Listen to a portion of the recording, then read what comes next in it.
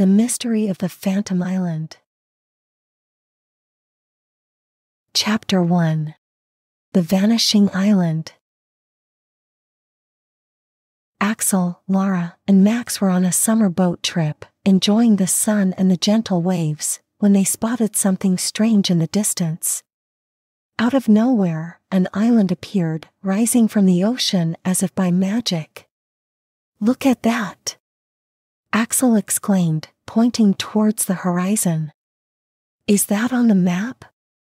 Lara asked, pulling out a worn chart and scanning it intently.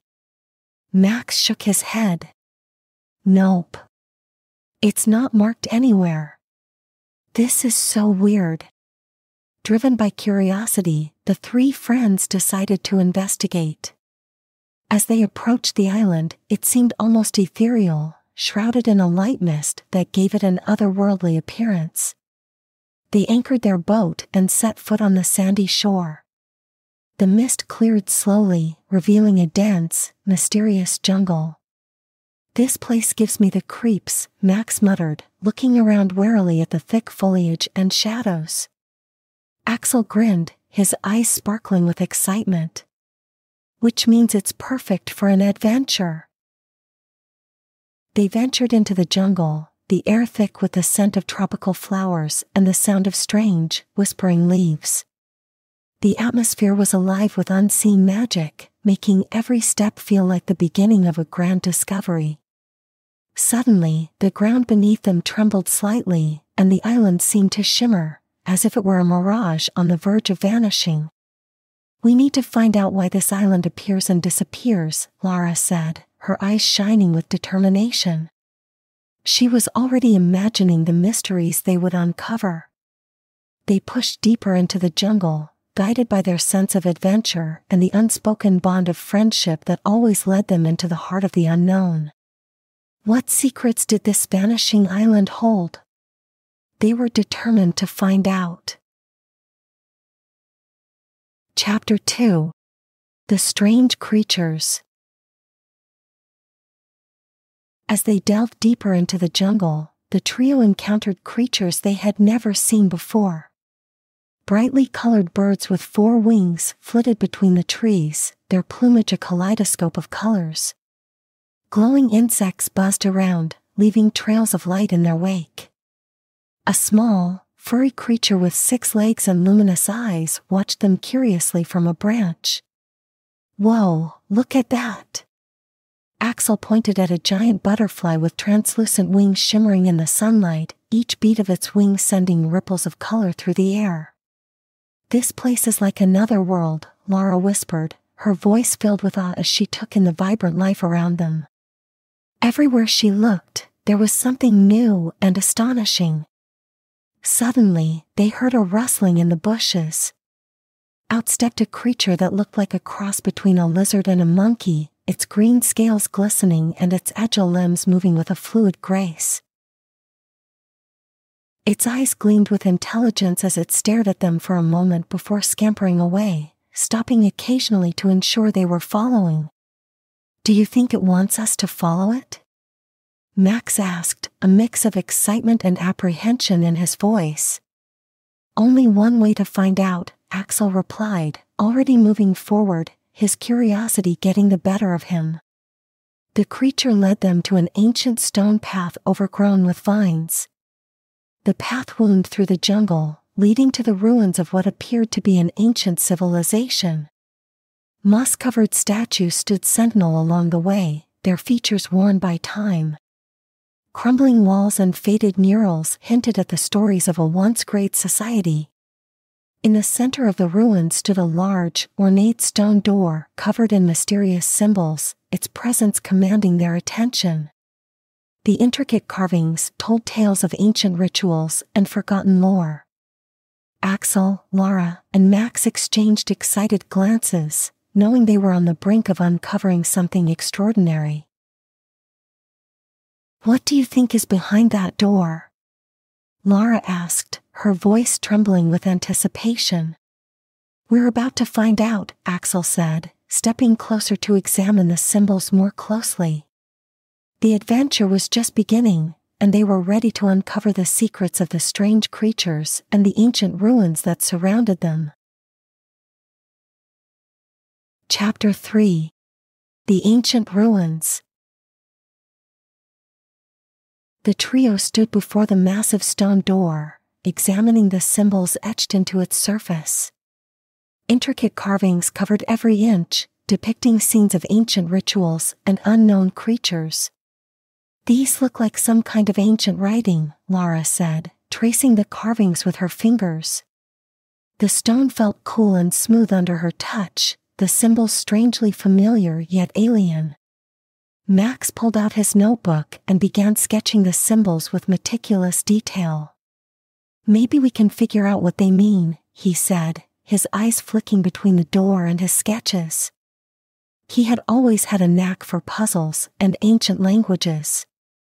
As they worked, the ground trembled again, a reminder of the island's unstable nature. The air around them shimmered slightly, like a mirage wavering in the heat. We need to hurry, Axel urged, glancing nervously at the shimmering surroundings. I think the island might disappear again. Lara and Max nodded, quickening their pace. After several attempts and a lot of trial and error, they managed to decipher the code. Axel pressed a sequence of symbols, his heart pounding with anticipation.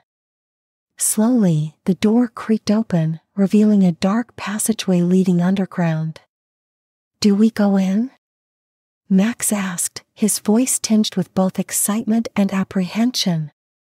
Lara nodded firmly. We've come this far. We need to find out what's down there. With torches in hand, they descended into the darkness.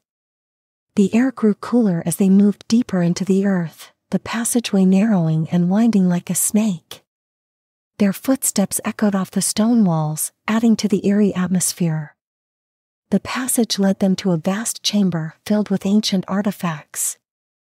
Shelves lined the walls, holding relics of a bygone era, dusty scrolls, jeweled goblets, and strange, unidentifiable objects.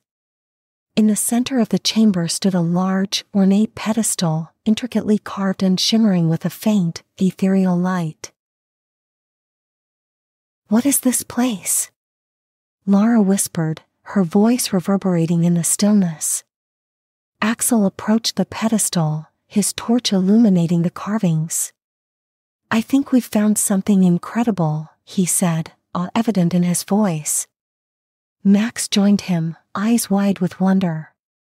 These artifacts must be thousands of years old. Imagine the history they hold. As they explored the chamber, the reality of their discovery began to sink in. They were standing in a place untouched by time, filled with secrets waiting to be uncovered. And they knew this was only the beginning of their adventure. Chapter 4 The Secret of the Island On the pedestal lay a glowing crystal, pulsing with a soft, blue light that cast eerie shadows on the chamber walls. Surrounding it were intricate carvings depicting the island's history, telling tales of ancient guardians and lost civilizations. This must be the heart of the island, Lara said, her voice filled with awe. She reached out to touch the crystal, feeling a strange warmth radiating from it. As her fingers brushed against the crystal, it suddenly projected a holographic map of the island into the air. The map showed the island's various phases of appearing and disappearing, cycles that had been happening for centuries. It's some kind of time mechanism, Max realized, his eyes wide with astonishment. The crystal controls the island's presence in our world. Axel examined the carvings closely, his brow furrowed in concentration. Looks like the island was created to protect something. Maybe there's more to this crystal than we know. Suddenly, the ground shook violently, and the island began to shimmer more intensely. The air was filled with a low, rumbling sound, and dust fell from the ceiling. We need to take the crystal and get out of here. Lara shouted over the noise, urgency in her voice. Axel carefully removed the crystal from its pedestal, and as he did, the chamber started to collapse around them. They turned and raced back through the passageway, the ground shaking beneath their feet. Dodging falling debris, they made their way out into the jungle. As they reached the shore, the island began to fade, its outline becoming blurry and indistinct. They jumped into their boat just in time and watched in awe as the island disappeared, leaving only the crystal in Axel's hand as proof of their adventure. Well, that was close, Max said, panting, his face flushed with the thrill of their narrow escape. Lara smiled, holding the crystal up to the light. We did it. We discovered the secret of the vanishing island. And now, we have to figure out what to do with this crystal, Axel added, looking at the glowing artifact in his hand, its light reflecting in his determined eyes. With their hearts still pounding from the adventure, they set sail for home. The excitement of their discovery lingered, and they knew that many more mysteries awaited them in the future. The vanishing island had revealed one of its secrets, but the crystal hinted at many more adventures to come.